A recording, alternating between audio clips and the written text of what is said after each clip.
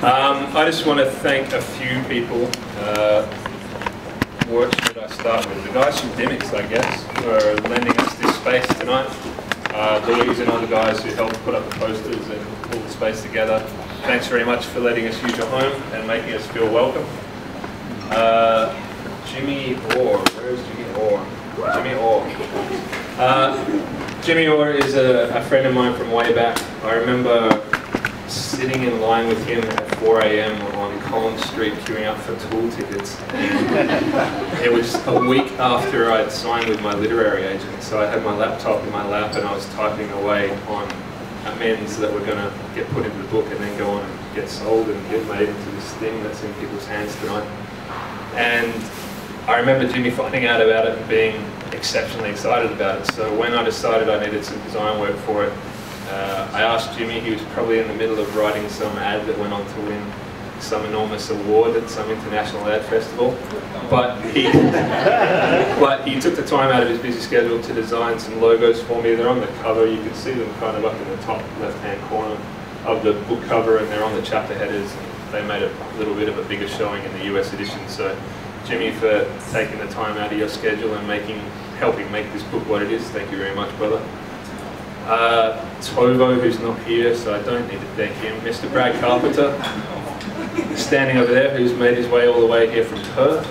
Uh, Brad helped me put together my website on very short notice. He has a very demanding client. And he uh, never calls me rude names. So, Brad, thanks for doing everything, man. Thanks for continuing to do the work and for making the effort to be here tonight. It's awesome to see you and your lovely wife, Claire.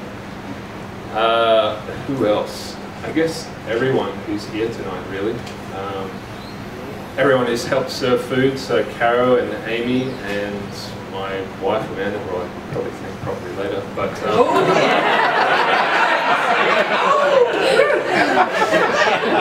um, it's really weird being a being an author. I guess I get to call myself an author now. I'm just a writer, which is probably the strangest thing out of all this, but being an author is a really lonely job as a general rule. You spend a lot of your time by yourself. You sit in a room at 1 a.m. and you've got to get up to work the next day and you don't have a literary agent, you don't have a book deal, you don't have anything except this million to one shot, um, this absurd dream that you can actually pull this thing off. And it's very easy to feel alone in those situations. But I look around the room and I see people who've come here from interstate and overseas. There are people in this room that I've known since I was in high school. There are people in this room that I've never met before tonight, but made their way from interstate and across the Tasman. That's totally an ocean. I count that. So um, yeah, they've all been brought into this room by this absurd little dream that I made. So everyone who made the effort to come here tonight, I thank you from the bottom of my heart. When I look back on my life, uh, such as it is, tonight is going to be one of the most special nights out of all of them. So for everyone who came here, honestly, thank you.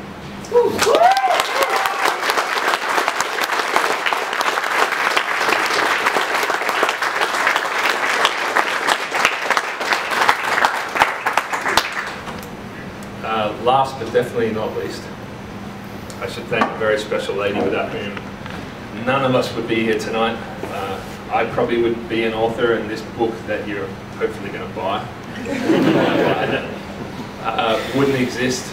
Um, a woman who is my most brutal critic and my biggest fan. She, I dedicated the book to her, um, and the words that I spoke in the front of the book are absolutely true. She is my love and she is my life. She is my first and only reason.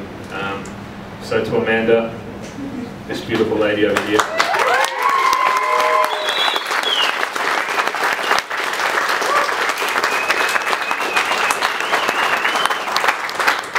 Uh, we wouldn't, we honestly wouldn't be here without you, baby, so thank you. Uh, to the guys from Pan Mac and my editor and my agent, but none of those guys are here, so There's a couple of guys from Pan Mac here. Andy's here at least, someone. Um, and that's about it. So I have there, you might see on the display table over there, there's a bunch of bookmarks that are totally gratis. You can grab a fistful if you like. I've got more if we run out. There's also a little book, um, it's a kid's book called The Little Stormdancer that I made for my editor when she had a baby uh, earlier this year. But we printed out a bunch of them tonight as a present to all of you for being here, so feel free to grab one. And I'm gonna sign some books later if you don't feel weird about that. weird about but if you don't feel weird, feel free to come up. Um, I'll be sitting somewhere around, and yeah, uh, I'll sign your books for you, and then we'll head out to Robot, and I'll get messy. I think I deserve it. Um, yeah, so that's it. Honestly, thank you from the bottom of my heart for being here, guys. It's awesome to see you all here.